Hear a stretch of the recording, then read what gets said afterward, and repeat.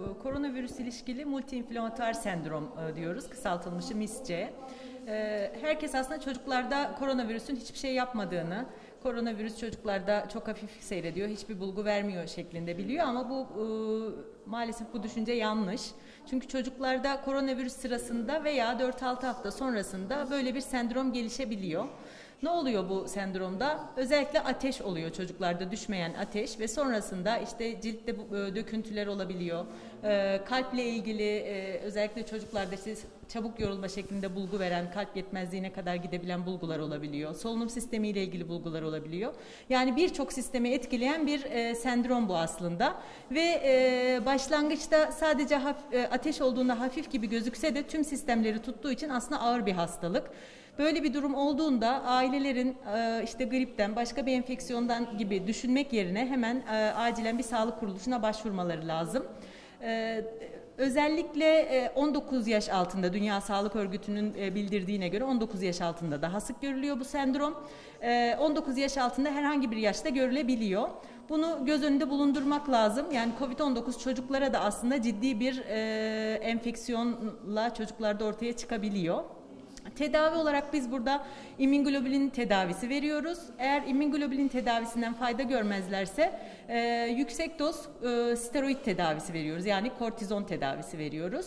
E, genel olarak bizim gördüğümüz hastalarımız tedaviye hızlı cevap verdi ve 24-48 saat içinde ateşleri düştü, diğer bulguları geriledi. Ama e, bu tedavilere rağmen kötü giden e, mor, e, ölüme kadar e, sebep olabilen bir inflamatuar sendrom aslında MIS-C. Peki hocam kaybettiğimiz hiç çocuk hastamız oldu mu ve yine e, ne yapılması gerekiyor? Yani bir koronanın başlangıcından beri ortaya çıkan bir şey miydi bu yoksa sonradan virüs mutasyon geçirdi çocuklara da mı etki başladı? Aslında şöyle koronanın başlangıcından beri ülkemizde değil ama Avrupa ülkelerinde tek tük vakalar bildirilmeye başlanmıştı. Ee, böyle multiinflamatuar sendrom artmaya başladı. Acaba bu koronayla mı ilişkili başka bir şey mi diye. Daha önceden bizim bildiğimiz Kawasaki hastalığı diye bir hastalık var. Bununla bulguları çok örtüşüyor. Acaba Kawasaki mi diye ama vakalar arttıkça e, bunun aslında Covid ile ilişkili multiinflamatuar sendrom olduğu ortaya çıktı. Bizim ülkemizde de e, ilk e, özellikle Mart'tan sonraki dönemde çok fazla aslında çıkmamıştı bu e, ortaya.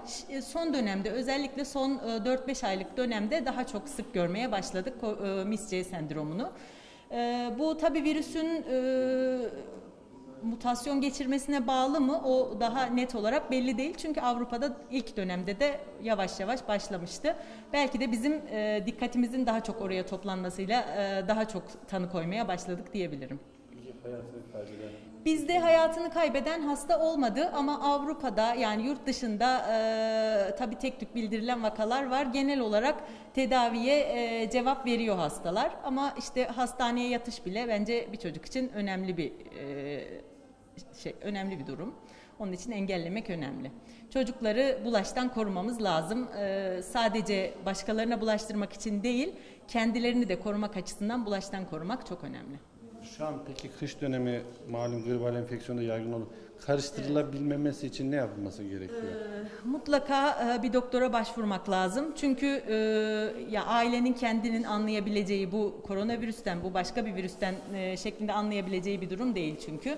E, Geçtiğimiz hafta biz kendi meslektaşımızın 9 yaşında bir çocuğunu da e, MIS-C nedeniyle tedavisini yaptık. E, aynen ate, uzamış ateş, e, ciltte döküntü ve e, çabuk yorulma, ishal şeklinde bulguyla geldi e, hastamızda.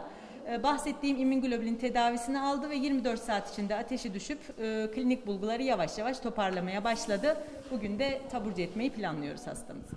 Peki anne baba Covid ise çocukta da bu misciye mi görülüyor yoksa anne babada olmasına gerek yok misciye çocukta direkt görülebiliyor mu?